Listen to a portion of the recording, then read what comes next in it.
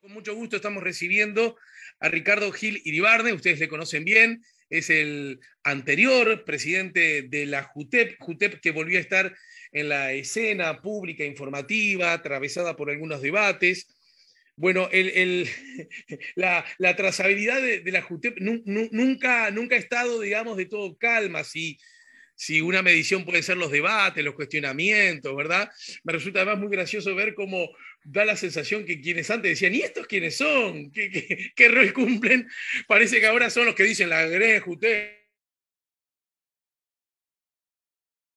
fondo me da alegría, porque sería que de alguna vez por todas entremos a, valorar la importancia que esta tiene. Pero como aprendí hace algún tiempo, ya me lo dirá Ricardo, no hay políticas públicas sin recursos y dar o no dar recursos a una política pública da cuenta también de la importancia que esto tiene según tu mirada. Así que recibimos a Ricardo Gil Ribarna. Buen día y bienvenido, Ricardo. Hola, buen día Alejandro, un gusto como siempre.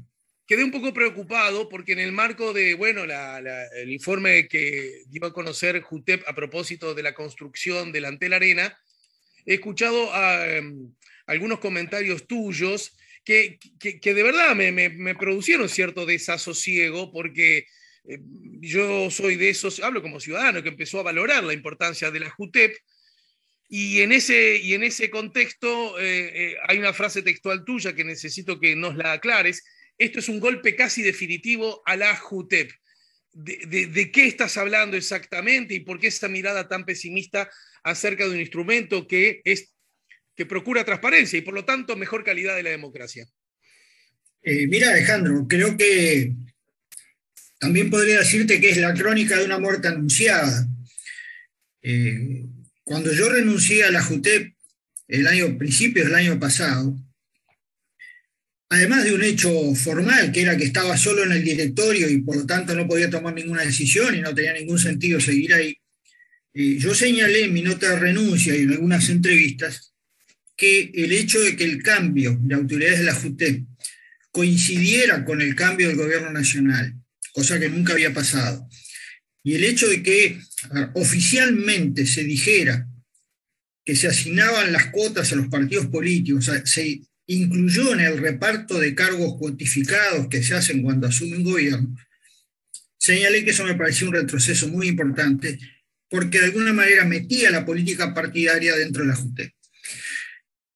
Por supuesto, el sistema nunca fue perfecto, por supuesto, siempre pasó que los integrantes tuvieran de alguna manera un perfil eh, político conocido, este, pero nunca, y especialmente en el caso nuestro, los tres directores estuvimos allí sin que nuestros partidos nos hubieran designado o sin que estuviéramos vinculados formalmente a un partido, etcétera, etcétera. Yo nunca hablé ni antes ni durante con las autoridades de ningún partido. Entonces, eh, ese cambio que se produjo, que estaba... Sin embargo, eh, eh, está muy bien como lo decís, pero me, parece que es necesario que al público le quede más claro aún. Sin embargo, habitaban en esa, en esa selección de personas y de nombres lo que podríamos definir, corregime si le estoy agarrando el bizcochazo, una suerte de algún tipo de equilibrio político, ¿no? Sí, sin duda, por eso lo estoy reconociendo, digo, nunca incluso los anteriores, había un, elemento de equilibrio, pero es distinto si a mí me nombra mi partido. Sí, sí, claro. Es distinto si esto entra en el reparto de cargo de la UTE tanto, eh, ANCAP tanto, no sé qué, y la JUTEP tanto. Ese es el retroceso. ¿Por qué? Porque si te nombra tu partido, vos respondes a tu partido. Y tu partido puede decirte, señor, no vote eso, vote esto otro. O señor, lo que usted votó no nos gusta, devuelva el cargo. Entonces yo eh, te aclaro, estoy totalmente en desacuerdo con la resolución que sacó JUTEP sobre el tema de Antel, pero aprobada por el directorio, lo que hay que hacer es criticarla, cuestionarla, desmenuzarla, pero que se le pida el cargo a uno de sus integrantes, cualquiera que sea de cualquier partido, me parece que oficializa, eh, confirma mi preocupación de hace un año y pico atrás. Pero en todo caso es hija de, justamente esa lógica que vos entendés que había que evitar. Exacto, ya, está mal, parida la historia, ¿no? Eh, yo el año pasado dije, ojalá me equivoque y dentro de un año la JUTEP ande bárbaro. Pero lamentablemente no me equivoqué. Pero más si tú recordás, eso estuvo asociado a una declaración del actual secretario de la presidencia que dijo hay que adecuar los organismos de control a la nueva realidad política, que había habido un cambio de gobierno. Entonces creo que eso es lo que hoy se está reflejando eh, y a mí me preocupa mucho porque creo que es un retroceso muy grande y sobre todo mirando para adelante no le veo salida clara. ¿Por qué? Porque ahora, cuando se llene el cargo, el que vaya va a saber que está sujeto a esas reglas. Y el ámbito de discusión dentro del directorio seguramente va a cambiar porque todo el mundo va a estar mirando justamente esa repercusión política partidaria. Para decirte de otra manera lo que me planteabas antes, nosotros yo conviví con una eh, representante, una directora que todos sabemos que estuvo vinculada al Partido Nacional, que es Matilde. Con otro director que estuvo vinculado al Partido Colorado, el doctor Borrelli. Eh, todas las decisiones que tomamos en los casos conflictivos fueron por unanimidad y jamás, ni ellos, ni yo, ninguno de nosotros planteó eh, temas políticos partidarios de por medio, jamás. ¿no? Entonces yo todo mi respeto a Matilde y a Borrelli en ese sentido porque este, trabajamos como para mí se debe trabajar. Después le habremos embocado, le habremos raro, eso es otro tema.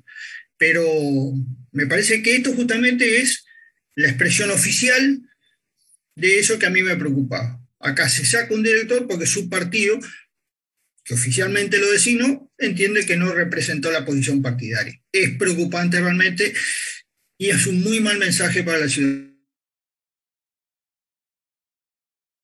entonces de lo que vos habías advertido de no transformar esto.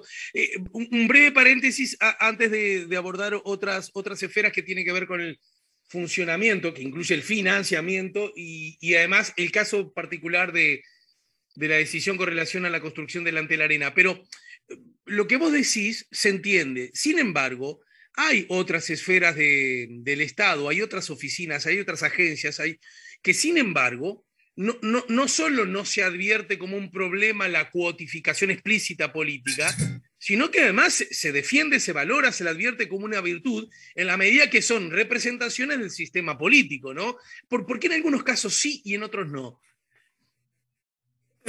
Si tú me preguntas mi opinión personal, en general, cuanto más representación técnica sea y menos política, mejor. Te digo, en una empresa comercial del Estado, yo prefiero gente que sepa de eso, ¿no? Después hay todas una discusiones, pero yo prefiero que la gente sepa de eso, porque hay casos donde puede haber cosas mal hechas vinculadas a la corrupción y casos de mala gestión. Entonces yo pongo gente que no sabe del tema, me arriesgo a eso. Creo que eso no va a cambiar. Ahora, en los organismos de control, me parece que eso sí nunca debería ser de esa forma. Un organismo de control y particularmente la JUTEP, donde el tema que está en el tapete es la corrupción, la ética, la transparencia, debería tener gente que todos sepamos quién es, cuyos currículos sean públicos, cosa que no pasa. Yo cuando me designaron mandé un currículum de un montón de hojas. Parece que es reservado. Entonces yo digo, no, quiero que la gente sepa por qué eh, yo acepté eso. Que no estaba buscando un laburo que me daba lo mismo la JUTE que UTE que, que una intendencia. No, no. Yo venía de una serie de actividades donde estaba vinculado con lo que podía hacer en la JUTEC y me parecía que tenía un respaldo de mi historia para eso. Ahora, si eso es secreto, la gente no sabe por qué me pusieron a mí o ponen a otros. ¿no? Y a la vez, que el tema de el vínculo partidario, que todos somos votantes de algo, este, pero que no sea ni la condición, ni mucho menos la representación el director de la UTED no puede ser representante de un partido sujeto a la disciplina partidaria, porque entonces eso es lo mismo que vemos en los diarios, lo mismo que vemos en las redes, a ver quién es más honesto, quién grita más fuerte, no sé qué, trasladarlo a la JUTEP. Y debería ser otra cosa donde se analicen comportamientos, se analicen las normas, se castiga a quien las, las rompe y también se deje claro, y eso me parece muy importante y no lo estamos logrando, que hay gente que incumple las normas y hay, gente, hay mucha gente que la cumple.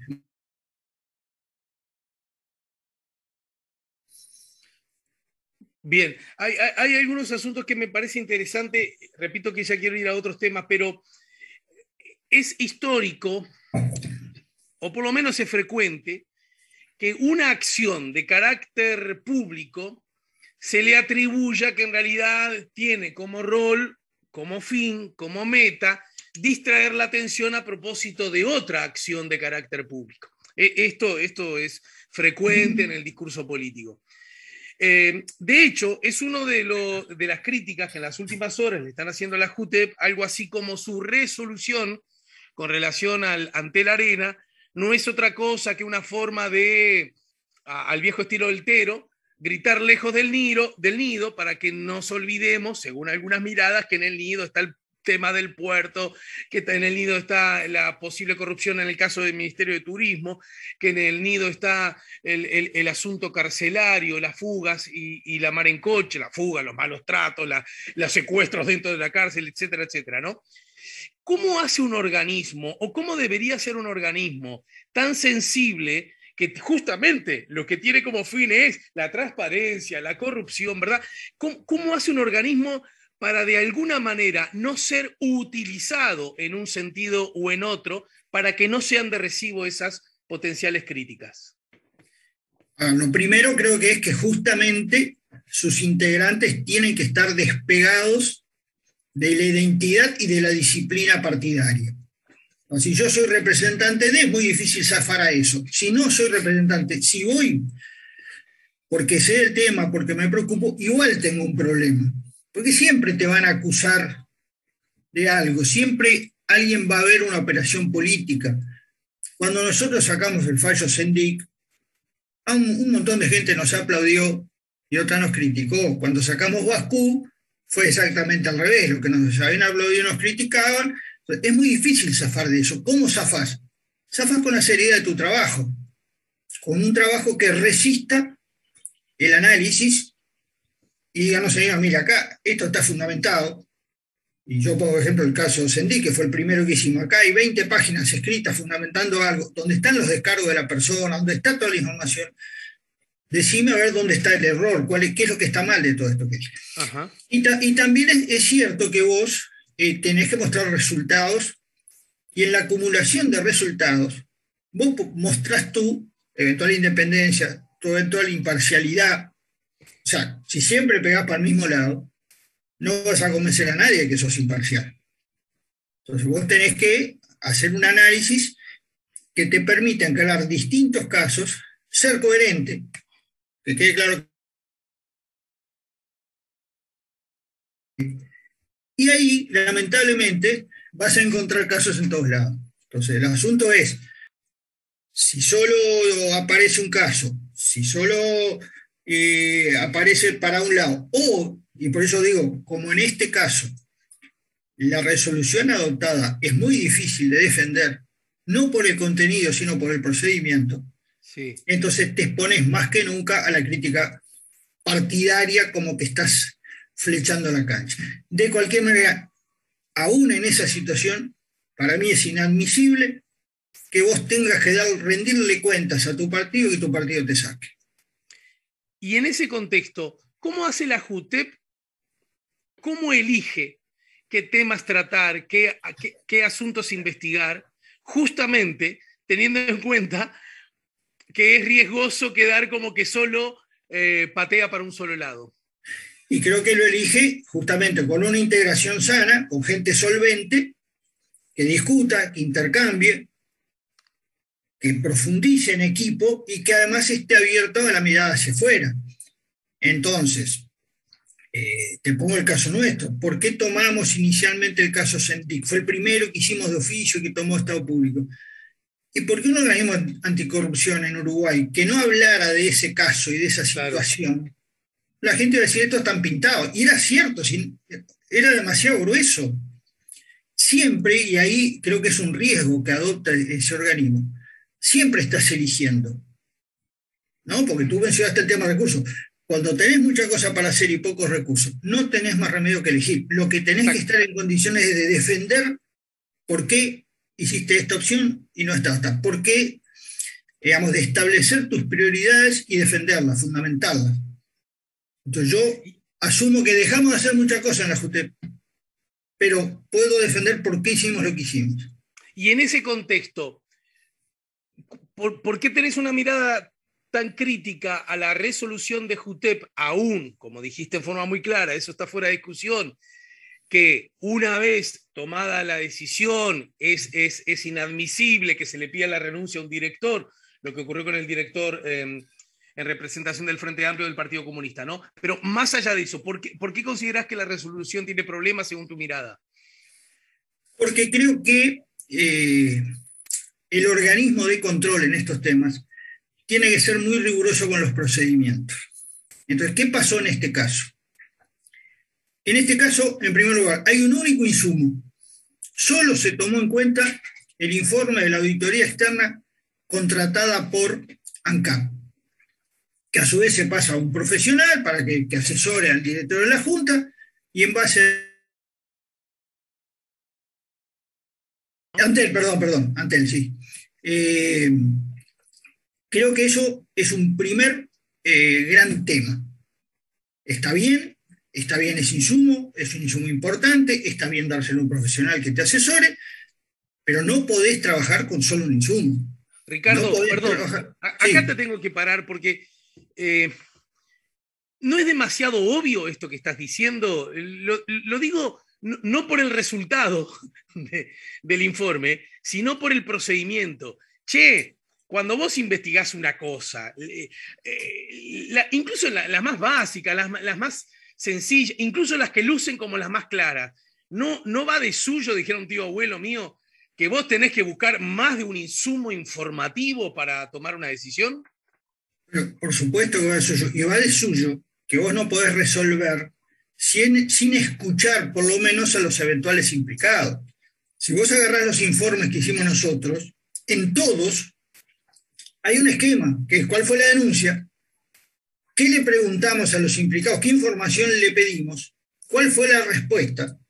Y si esa respuesta fue insuficiente, como fue en muchos casos, sí, mire señores, esta es la historia, acá se violó esto, chau. Ahora, si yo no hago eso, si yo no tomo más insumos, si yo no le pregunto nada a nadie. A, ver, a ver, este, ¿a, quién, a, quién, ¿a quién más se le debió haber preguntado cosas? creo que en primer lugar tenés que juntar más antecedentes. Es evidente que había otras auditorías, que había una auditoría interna, y está claro que aunque no aparezcan nombres, acá estás implicando gente. Entonces vos tenés que convocar a esa gente presencial, mandarle una carta, hacer como quieras, y decirle, dame tu versión. A la ingeniera Cose, por ejemplo. Por ejemplo, sin duda. ¿Por qué no? Porque usted me dice, ¿por qué no? Claro. ¿Por qué te limitas a un único insumo? Pero además, Segundo punto, igualmente grave o más grave, en el propio informe de la JUTEP, resultando número 5, dice que ese único insumo utilizó herramientas que la JUTEP no puede afirmar que sean ni suficientes ni confiables. Eso lo dice el informe. Entonces, me estás diciendo que sacás conclusiones sobre un único informe que además no me podés asegurar ni decir que es confiable. Me parece que es demasiado grueso. Fue lo primero que yo dije cuando pasó esto y me preguntaron, antes de que viniera el tema del pedido de renuncia. Para mí las dos cosas, aparte, y, está lindo porque da para que me peguen de los dos lados. A ver. De un lado, porque critico el informe, y del otro lado, porque parece que estoy defendiendo al director renunciante. No, yo estoy defendiendo a la institución. La institución no puede estar sujeta, la institución JUTEP no puede estar sujeta a que saquen un director porque a su partido no le gustó lo que hizo. Porque ya te digo, a partir de ahora eso podría ser, espero que no, pero es lo que queda planteado como escenario, la lucha partidaria comunica, comunica variable. Yo creo que las dos cosas son importantes. La resolución para mí es muy mala, pero adoptada por el directorio hay que discutirla, hay que criticarla, hay que desmenuzarla, o hay que tirarla a la basura si no te gusta, pero no podés meter la política partidaria sacando un director. Bien, acá, a ver, a ver cómo voy a tratar de formularla de la mejor manera sin que esté demasiado contaminada por estos hechos. Entendí la lógica, ¿verdad? Perfectamente. Ahora, y entendí lo riesgoso que pueda implicar que, bueno, entonces el integrante de la JUTEP no hace algo que hace algo que le pareció mal a su partido y el partido lo saca, dando además una, implícita y explícita señal al que venga acerca de cómo debe tratarse, ¿no? Seguro que el que venga, si es que alguno agarra, antes de tomar cualquier decisión va a levantar el teléfono, es obvio, ¿no? El, mensaje parece ser ese. Bien, pero aún así, teniendo en cuenta y agarráis un papel, escribílo y yo te lo firmo abajo, de que eso está mal, pregunto, ¿y qué pasa si la persona en cuestión actúa y en la actuación comete errores que lucen como muy grandes, porque son carencias muy obvias? El partido en cuestión, entonces, debería, debería aún así cargar con ese asunto a pesar de que hay una, llamémosle así, mala praxis en su tarea? ¿Y por qué tenés que centrar la cosa en una persona si hubo un directorio que resolvió por unanimidad? Criticar la decisión, criticar al directorio, criticar al organismo. Sí, mire, estos señores resolvieron esto. Bien. No llamaron a nadie, tomaron un único insumo, dijeron que Eso es lo que tenés que hacer, no, no, te, no, te centres en tu supuesto representante. Lo que pasa, Alejandro, que como te decía, vos lo puedes analizar con este hecho puntual o podés ver la historia. Y la historia desde hace un año y medio atrás marca esto. Se codificó, se asoció con el cambio del gobierno central, se dijo expresamente que había que adecuar los organismos a la nueva realidad política. esto es simplemente un paso más. Por eso te decía, crónica de una muerte anunciada. Esto es un paso más. Es la consecuencia de lo que se hizo hace un año y pico. Si se codifica y yo represento a un partido, el partido me tira la oreja y me saca. No nació ahora. Es un tema de procedimiento y, genera una desconfianza brutal en la gente, eh, porque de alguna manera todos preferimos creer en los organismos de control. Ahora, si pasan estas cosas, el escepticismo que hay en otros lados donde ya nadie cree en las instituciones, este, se los puede venir arriba. Y, en ese contexto, entonces, um, recordanos, algo lo sugeriste recién, pero me gustaría que, fuéramos más puntillosos, porque alguien puede decir, bueno, después de todo así funcionó siempre. Vos sostenés que no siempre funcionó así, es decir, que en algún tiempo pasado, no tan lejano, funcionamos, funcionábamos mejor, ¿no es cierto? Yo creo que sí. No, funcionábamos de la mejor manera, no era el funcionamiento ideal. En eso estoy de acuerdo. Pero esto es peor. A ver, por eso te decía, a nosotros, a nosotros, al directorio anterior, a los tres nos propuso presidencia de la República y el Senado dio la venia. Hubo una discusión, hubo una demora, justamente porque el presidente, que en aquel momento era que no consultó a ningún partido. Él propuso tres nombres. Ahí se trancó un tiempo las designaciones porque Ahora. Pero, igual esos tres nombres es obligatorio que salgan con aval parlamentario y con mayorías especiales, ¿no? Sí, sí, sí, sí, con aval del Senado y mayorías especiales. Entonces, eso funciona así en, la designación. Y después, ya te digo, a mí personalmente, ni antes ni durante el ejercicio de, de, mi calidad de director y de presidente, jamás me llamó nadie para decirme hace esto, no hagas esto, o por qué hiciste tal o cual cosa. Obviamente no me llamaron porque sabía que se me llamaban, iban a tener algún problema, pero lo real es que no me llamó nadie. Y me conta, por, por respeto a mis compañeros, que ninguno de ellos planteó en nuestras decisiones un tema que vos digas, bueno, acá viene un mandato político partidario. Nunca fue así. Y eso es para mí la confirmación de que funcionamos de otra manera. ¿Fue lo mejor? No. Yo creo que no fue lo mejor. Lo mejor era una forma de, designación más transparente, donde se sepa por qué van fulano, me y sultano, se conozca su historia, se sepa que sirve para eso.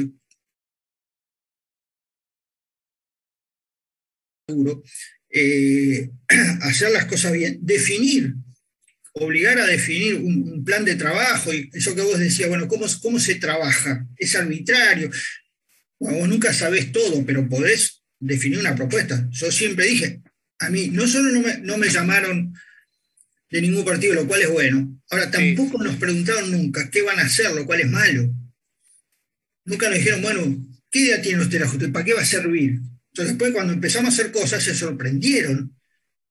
Y bueno, empezaron a decir, ah, no, que la JUTEP no sirve para nada, que hay que sacarla. Bueno, ahora los que decían que hay que sacarla dicen que hay que dejar. Sí, bueno. Ese tipo de cosas, ¿no? Este, entonces, me parece que ahí. Me parece muy interesante el, argumento. Bueno, primero, eh, ¿cómo hacían con la selección de los temas? Porque eso también va de la mano al buen funcionamiento, al funcionamiento transparente, valga la redundancia, y además la credibilidad que necesariamente tiene que ganar yo no diría tanto en el sistema político, sino en la ciudadanía, ¿no? Para que la ciudadanía vea, mirá, esto es loco. No es que, porque también puede ser llevar a confusión, incluso dándole aire al argumento de que estos están mandatados en actuar en solo una dirección, si te metes con Antel, con el Antel Arena, y además con esto que acabas de señalar vos, y no te metes con cuatro o cinco cosas que andan en la vuelta y que son tan grandes como una arena, ¿no? Sí, sí, por eso te digo, siempre hay un tema de que prioridades, y ahí está lo que vos mencionabas al principio, que no hemos hablado, que el tema de los recursos. Cuanto menos recursos tenés, menos cosas a la vez podés hacer, eh, pero tenés que tener la capacidad de defender tus decisiones. O sea, yo puedo defender por qué tomamos el caso Sendic, el caso Bascú, el caso de León, eh, el caso Moreira, el caso Intendencia Artigas Caram, eh, y te diría, en todos los casos, en todos esos casos, alguien nos aplaudió y alguien nos pegó.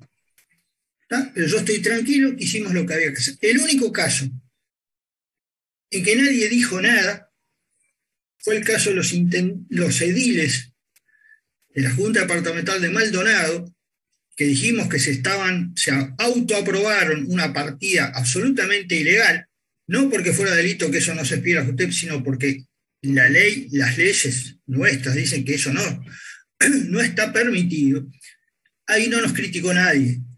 ¿Por qué? Porque se hicieron lo distraído, porque estaban todos los partidos implicados, todos aplaudieron y todos cobraron. Entonces, nadie los criticó ni nadie los aplaudió tampoco. Tampoco, no, no, silencio, cri cri, ¿viste? El cri cri. Sí, sí, bueno, eso. ¿Por qué? Ah, porque estaban todos. Entonces, el mensaje a la ciudadanía es bien embromado. Eso es lo que nos preocupa. Ahí va, ahí se incluye otro tema y es que las resoluciones eh, lo cual es un problema, eh, te da una, te permite un poco menos de rigurosidad, porque no hay un proceso completo. No te permite para mí hacer lo que pasó ahora, sacar una resolución sin consultar a los implicados. Pero de alguna manera el paso siguiente sería que en el organismo respectivo se haga una investigación administrativa se haga un sumario, donde el informe de la JUTEP será un insumo más, pero habrá otros, y se saquen conclusiones y se tomen las medidas que haya que tomar. También eso, Alejandro, es clarísimo. En los casos donde nosotros dijimos, acá se violó esta norma, en ningún caso hubo sanciones. O sea, después el sistema político se hizo el distraído en ninguno de los casos que sacamos, aún los que nos aplaudieron y los que no nos aplaudieron, no hubo ninguna consecuencia. Cuando la ley, que se reafirmó en el año 2019 con la ley 19823, dice que independientemente del tema penal, las faltas administrativas, hay faltas administrativas, algunas de esas graves, que deben ser sancionadas por la vía administrativa. Eso no pasó. Bien. Eh, eh, en el final te pregunto, ¿y el tema de los un minuto y medio para hablar del presupuesto, del dinero. Es decir, qué, qué es lo que ocurría, qué es lo que está ocurriendo y qué es lo que debería ocurrir. lo que ocurría, qué es lo que está ocurriendo y es lo que pasa con los organismos de control, es lo que yo eh, asumo la responsabilidad de decir, el sistema político no tiene interés en que esos organismos funcionen bien. Entonces, una forma está muy lindo en el papel, la ley dice que tenés todo esto, tenés estas atribuciones, estos cometidos, pero después no tenés con qué hacerlo. ¿Ah? Frente a eso, me parece que hay la necesidad de cambiarlo. Decir, bueno, señores, si quieren mismo control, denle los recursos. Esa es la parte responsabilidad del sistema político. La parte de responsabilidad nuestra es, y, creo que es el mensaje que uno tiene que dar, es, mira loco, aunque no me des un peso, yo voy a hacer todo lo que pueda. Así que no te pienses que por negarme los recursos yo no voy a cumplir con mi función. Acá, acá me parece muy importante, cito como fuente eh, el artículo que hoy publica la diaria, que subraya uno de los casos más recientes, uno de los hechos políticos más recientes en lo que se acusa a un jerarca de acciones reñidas con la ética, involucra al intendente de La Valleja, el nacionalista Mario García, que otorgó compensaciones salariales a su hermano Ariel García, a Gerardo Peña, hermano de la ex intendenta Adriana Peña, y a Andrea Aviaga, hermana de la ex candidata a intendenta Carol Aviaga.